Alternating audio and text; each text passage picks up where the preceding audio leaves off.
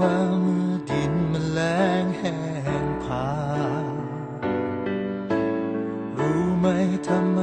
ฝนจึงเต็มท้องฟ้ากปรกับงานของในหลวง เป็นคนโชคดีหนักหนาที่เกิดมาใต้บารมีพระองค์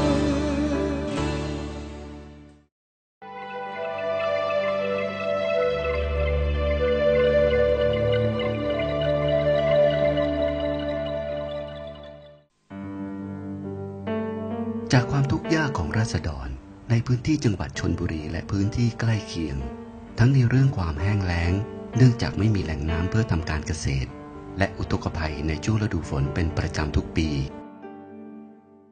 หมู่ที่หนึ่งของผมนี่ประชากรร้อยละแปดสิบก็จะประกอบ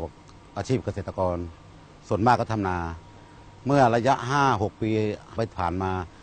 ชาวนาจะทำนาก็ได้ปีละครั้งเดียว เพราะว่าเออ ต้องรอฝนตกจากเหนือที่มีเขื่อนปัจจุบันนี้ตกจากทางบ่อทอง น้ำก็จะมา ถ้าปีไหนน้ำมาเร็วก็ได้ทำเร็ว ถ้าปีไหนโชคร้ายฝนตกหนัก น้ำก็จะท่วมหมด ก็ทำกันได้ครั้งเดียวได้มั่งไม่ได้มั่ง ก็อยู่ไปงั้นเพราะว่าเราไม่จะทำยังไงอะก็รอน้ำลำคลองนี่อย่างเดียว ถ้าโชคดีฝนตกเหนือ หมู่บ้านตกทางด้านบน เราก็ได้น้ำถ้าตกด้านล่างไปไปพนันที่คมฝนมาทางโน้น เราก็ไม่มีเสียได้น้ำต้องไปหารับจ้างทำงานกันอะ ราะทำนาก็ทำไม่ได้ เพราะทำกันแรงพอพอน้ำมีพอทำเสร็จฝนก็ตกน้ำท่วมอีก ท่วมปีบางบางปีท่วมทั้งสามครั้งปีไหนไต้ฝุ่นเข้าเยอะสามครั้งสี่ครั้ง ครั้งล่าสุดเมื่อปีห้าสองท่วมถึงสามครั้ง ด้วยพระมหากรุณาธิคุณและสายพระเนตรอันยาวไกล ของพระบาทสมเด็จพระเจ้าอยู่หัว ที่จะบรรเทาความเดือดร้อนของราษฎรในพื้นที่จังหวัดชนบุรีและใกล้เคียง ทรงมีพระราชดำริให้กรมชลประทานดำเนินการก่อสร้าง อ่างเก็บน้ำคลองหลวงรัชโรธรอันเนื่องมาจากพระราชดำริขึ้น เมื่อวันที่ 12 พฤษภาคม พุทธศักราช 2525 อ่างเก็บน้ำคลองหลวงราชโรธรอันเนื่องมาจากพระราชดำริจังหวัดชลบุรีนี้นะครับ ก็พระบาทสมเด็จพระเจ้าอยู่หัวได้มีพระราชดำริให้กับกรมชลประทาน มื่อวันที่ 12 พฤษภาคม 2525 นะครับ ให้ในการตั้งอ่างเก็บน้ำเพื่อบรรเทาปัญหาภัยแล้ง และการบรรเทาอุทกภัยให้กับราษฎรในเขตอำเภอพนัสและอำเภอพันทองจังหวัดชลบุรีนะครับกรมชลประทานก็รับสนองพระราชดำริในการมาก่อสร้างสำหรับโครงการอ่างเก็บน้ำคลองหลวงแห่งนี้นะครับเมื่อเมื่อแล้วเสร็จในปี 62 นะครับผลประโยชน์ที่ได้รับนะครับอันดับแรกก็คือพื้นที่เกษตรชลประทาน หรือพื้นที่ชลประทานเปิดใหม่นะครับจำนวน 44,000 ไร่นะครับประโยชน์ที่สองก็คือ เพื่อบรรเทาอุทกภัยนะครับเขื่อนเก็บกลางนี้ก็ที่มีความจุ 98 ล้านเนี่ยก็สามารถในการบรรเทาอุทกภัย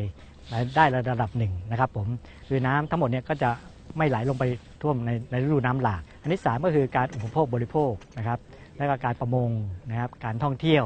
นะครับอันสุดท้ายก็คือรักษาระบบนิเวศนะครับน้ำในอ่างเก็บน้ำเนี่ยก็เหมือนจากน้ำพระทัยของพระองค์ท่าน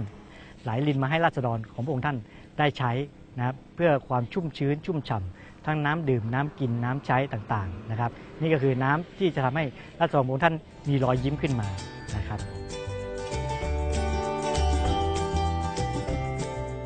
ก็ต้องขอขอบคุณซึ้งในพระพระมหากรุณาธิคุณที่ได้มองไกลคิดในสิ่งที่ดีแก่ประชาราประชาชนถ้าไม่ได้พระองค์ท่าน ประชาชนก็คงจะลำบาก ตอนนี้ก็ลืมตาอ้าปากได้ มีกินมีใช้ จากเป็นหนี้เป็นสินที่แยกก็ลดหนี้ลดสินลงมา เพื่ออยู่รอดได้สร้างฐานะครอบครัวเป็นอยู่ที่ดีขึ้น รัชชะหมายถึงกษัตริย์ชโลธรหมายถึงท้องน้ำรัชโลธรจึงมีความหมายว่า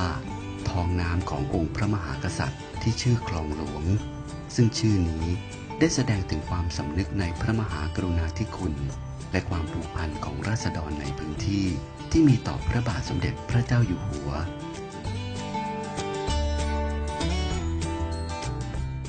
ในส่วนของเจ้าที่กรมชลประทานนะครับที่ได้นำงานสนองพระยุคลบาทเนี่ยก็มีความปรับปื้มเป็นอย่างดีนะครับ แล้วก็จะทำงานถวายเพื่อพระองค์ท่านในการพัฒนาแหล่งน้ำต่อๆไปนะครับสำหรับ ประชาชนทั่วไปนะครับผมเชื่อว่าทุกคนนะครับเอ่าบปลื้มในพระมหากรุณาธิคุณที่ท่านได้พระราชดำริอ่างเก็บน้ำแห่งนี้ ให้ประชาชนแม้จะแค่เป็นของชาวชนบุรี แต่ถือว่าภาพรวมก็คือประชาชนคนไทยที่จะได้รับน้ำอภัยจากพระองค์ท่านครับผม